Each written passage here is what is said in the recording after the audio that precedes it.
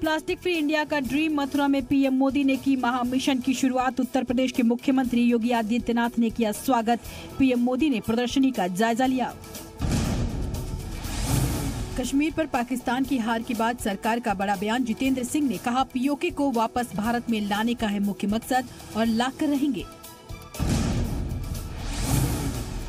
कश्मीर पर पाकिस्तान की 115 पन्नों की साजिश बेनकाब यूएन में रद्द हुआ। मानवाधिकार पर विशेष सत्र का प्रस्ताव, भारत ने जमकर की खिंचाई। यूएनएचआरसी में कश्मीर पर भारत ने पाकिस्तान को दिया करारा जवाब। कश्मीर भारत का आंतरिक मामला। धीरे धीरे हालात हो रहे हैं, सामान्य कहा। पाकिस्तान आतंकी संगठनों पर करे सख्त कार्रवाई। कश्मीर पर 115 पन्नों के झूठ के साथ यूएनएचआरसी में रोया पाकिस्तान, राहुल गांधी, उमर अब्दुल्ला और महबूबा मुफ्ती के बयानों का भी दिया हवाला। कश्मीर पर झूठ बोलते बोलते पाकिस्तान की ज़ुबान पर सच आया। विदेश मंत्री शाह महमूद खुद बोले, जम्मू कश्मीर भारत का राज्य है। पाकिस्तान, चीन ने ज्वाइंट प्रेस कॉन्फ्रेंस में किया जम्मू कश्मीर का ज़िक्र। भारत ने पीओके में चीन के सी पैक प्रोजेक्ट पर जताया विरोध। कहा, पाकिस्तान, चीन के साथ मिलकर पीओके की यथास्थिति को बदलने की कोशिश कर रहा है। श्रीनगर में एयरफोर्स के चार अफसरों और एक नागरिक की हत्या के मामले में जम्मू की टाडा कोर्ट में हो सकती है जेकेएलएफ चीफ और हुर्रियत नेता यासीन मलिक की पेशी। 30 साल पहले यासीन पर दायर हुआ था केस, लेकिन राजनीतिक वजहों से नहीं हुई कोई कार्रवाई। पाकिस्तान के आरोपों का श्रीलंकाई खेल मंत्री ने दिया जवाब। हरिन फर्नांडो ने कहा, भारत की ओर से दबाव डालने की बात झूठी, सुरक्षा है बड़ा मसला, श्रीलंकाई क्रिकेट टीम के सीनियर खिलाड़ियों ने पाकिस्तान जाने से किया है इनकार। सरकार कश्मीर में सेब की खेती को बढ़ावा देने के लिए उठा रही है कदम, कश्मीर में बढ़ेगा सेब का व्यापार, किसानों को मिलेंगे सेब के वाजिब दाम। कर्नाटक से कांग्रेस के वरिष्ठ नेता डी के शिवकुमार की बेटी भी आई। ईडी के रडार पर ईडी ने डी के शिवकुमार की बेटी ऐश्वर्या को 12 सितंबर को पूछताछ के लिए बुलाया। जलियांवाला बाग मेमोरियल में इंग्लैंड के कैटरबरी के आर्क बिशप ने जताई शर्मिंदगी और दुख। जलियांवाला बाग हत्याकांड पर दुख जताते हुए आर्क बिशप मेमोरियल में ही दंडवत होकर लेट गए। आर्क बिशप ने कहा कि वो ब्रिटिश सरकार के प्रवक्ता नहीं हैं, लेकिन उन्हें इसका बहुत दुख है और मैं ईश्वर के नाम पर बोल सकता हूँ। धार्मिक नेता होने के चलते मैं इस पर शोक व्यक्त करता हूँ। मेडिकल काउंसिल ऑफ़ इंडिया की नई गाइडलाइन के बाद दिव्यांग छात्रों का भविष्य अधर में डॉक्टर बनने के लिए गाइडलाइन के खिलाफ कोर्ट में लड़ रहे हैं लड़ाई बंगाल के मिशन 2021 पर लौटी बीजेपी अमित शाह आज दिल्ली में लेंगे प्रदेश के बड़े नेताओं की बैठक ममता के खिलाफ आक्रामक प्रचार अभियान का प्लान महाराष्ट्र विधानसभा चुनाव में सीटों के बंटवारे को लेकर बीजेपी और शिवसेना में नहीं बन पाई सहमति। सूत्रों के मुताबिक बीजेपी एक सौ चौहत्तर सीटों पर चुनाव लड़ना चाहती है। वो शिवसेना को सिर्फ़ 114 सीटें देने के पक्ष में। कांग्रेस अध्यक्ष सोनिया गांधी से 10 जनपद पर मिले एनसीपी अध्यक्ष शरद पवार महाराष्ट्र विधानसभा चुनाव को लेकर हुई चर्चा।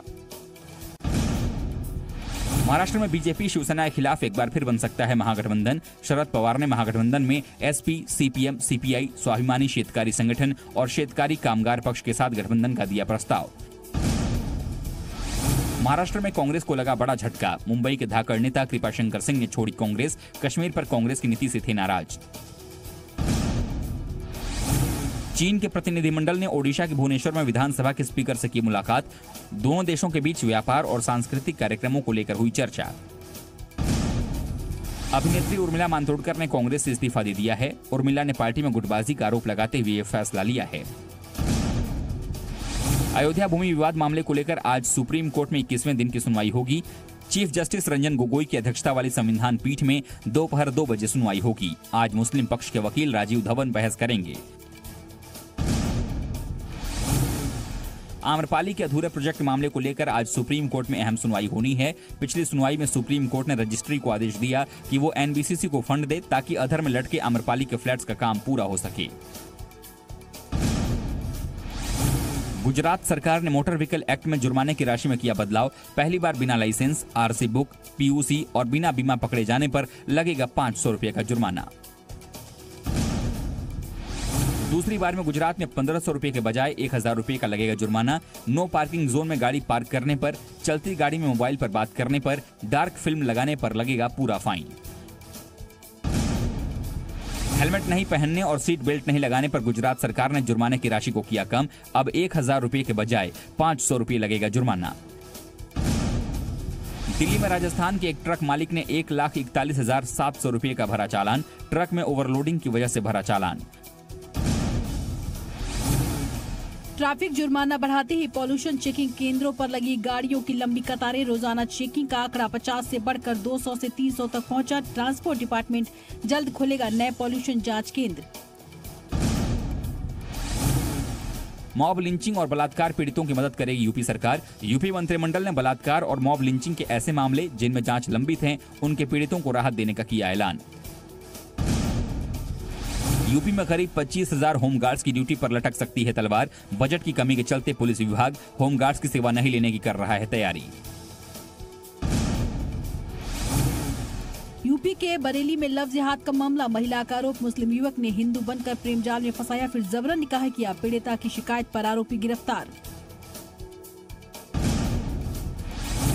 मुंबई में फिर बिल्डिंग हादसा। क्रॉफोर्ड एरिया में तीन मंजिला इमारत गिरी, लेकिन सभी लोगों को सुरक्षित निकाला। हफ़्ते भर पहले ही दिया गया था खाली करने का नोटिस।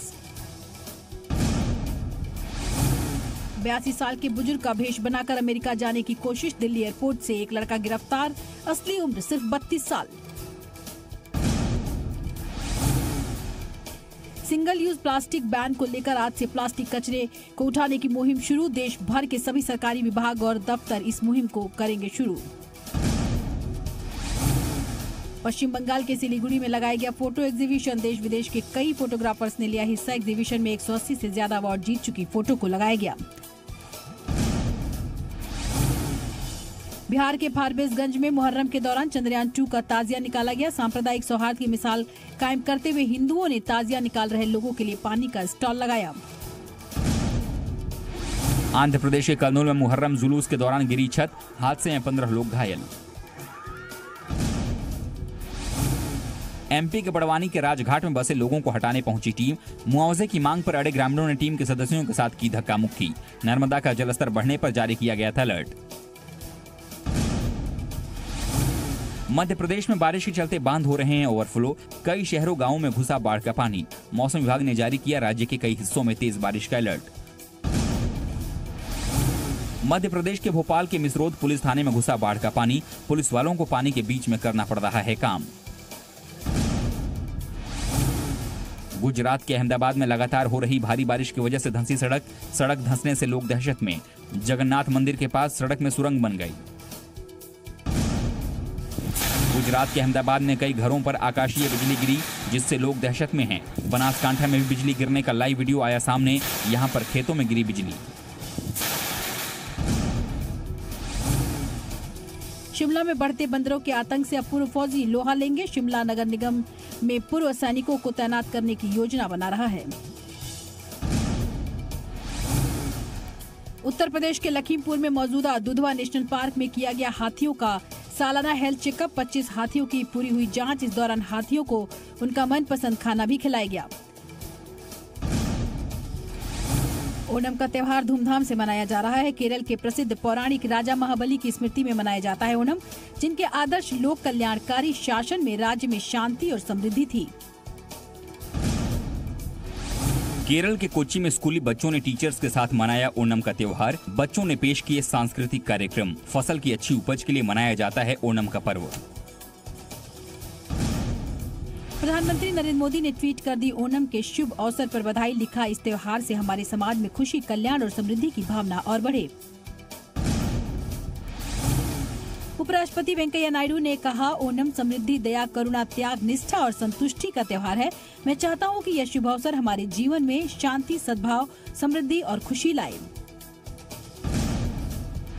टाटा पावर ने वोल्टाज के साथ किया करार। अब वोल्टास एसी खरीदने पर टाटा पावर ग्राहकों को देगी 50 प्रतिशत तक की छूट। अभी मुंबई और दिल्ली में योजना शुरू, देश के बाकी शहरों में भी जल्द विस्तार होगा। अमेरिकी राष्ट्रपति डोनाल्ड ट्रंप ने अपने राष्ट्रीय सुरक्षा सलाहकार जॉन बोल्टन को पद से हटाया। अगले हफ़्ते नए राष्ट्रीय सुरक्षा सलाहकार की नियुक्ति करेगा व्हाइट हाउस। इराक में मुहर्रम के दौरान करबला में भगदड़ से मरने वालों की संख्या बढ़कर इकतीस हो गई है। कई घायलों की हालत अभी भी गंभीर। इंग्लैंड के पूर्व कप्तान एलिस्टर कुक ने ऑस्ट्रेलियन क्रिकेटर डेविड वार्नर पर हाथ पर टेप लगाकर गेंद से छेड़छाड़ का गंभीर आरोप लगाया। अंग्रेज़ी अखबार द गार्डियन ने कुक के हवाले से लिखा। 50 साल की उम्र में शर्टलेस हुए अजय देवगन, उनकी फ़ोटो हो रही है वायरल। देश भर में जारी है गणेशोत्सव की धूम। मुंबई के अंधेरी में राजा के पंडाल में पहुँची बॉलीवुड अभिनेत्री कंगना रनौत। कंगना को देखने के लिए पंडाल में जुटी फैंस की भारी भीड़। कंगना ने पहनी थी सिल्क साड़ी। जानी मानी एक्ट्रेस रवीना टंडन जल्द ही नानी बनने वाली हैं। रवीना टंडन ने हाल ही में अपनी बेटी छाया के लिए बेबी शावर पार्टी होस्ट की थी। छाया को रवीना ने साल उन्नीस सौ पंचानवे में अडॉप्ट किया था। अर्जुन कपूर के साथ वैकेशन से लौटते ही मलाइका अरोड़ा फिर से फिटनेस रूटीन में जुटी। वर्कआउट की तस्वीरें इंस्टाग्राम पर शेयर की।